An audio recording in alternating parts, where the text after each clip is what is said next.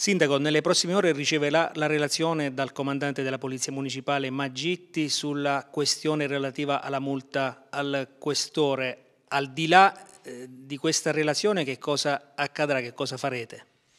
Noi naturalmente leggeremo la relazione del comandante Maggitti, questa relazione verrà peraltro sottoposta al vaglio del segretario generale e all'esito della stessa valuteremo il da farsi. Ma eh, qualcuno dice che è venuto un po' meno il rapporto fiduciario tra la giunta Alessandrini e il comandante Maggitti e che questa relazione potrebbe eh, non cambiare eh, quella che è una decisione già presa. Guardi, io penso che al di là delle suggestioni giornalistiche, io non posso e non voglio cambiare un comandante dei, della Polizia Municipale in base ad un'intervista ad un programma televisivo. Le Iene sono un programma televisivo di grande successo, però come ho più volte ripetuto, i procedimenti eh, diciamo, la televisione anzi non si può sostituire ai tribunali che sono quelli deputati all'accertamento delle responsabilità.